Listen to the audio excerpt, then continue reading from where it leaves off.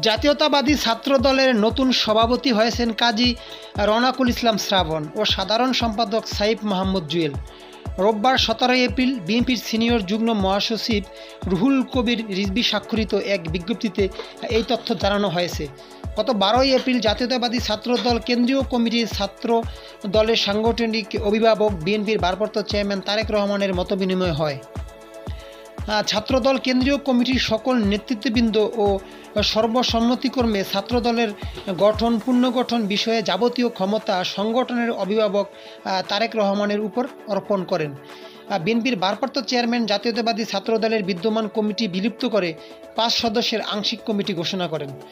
কমিটির অন্য দুজন সদস্য হলেন সিনিয়র সহ সভাপতি রাশেদ ইকবাল খান ও এক নং যুদ্ধ সাধারণ সম- সম্পাদক রাকিবুল ইসলাম রাকিব।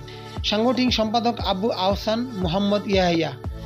দীর্ঘ অনেকদিন পরে বিএনপির নতুন এই ছাত্রদলের কমিটি গঠন করা হলো।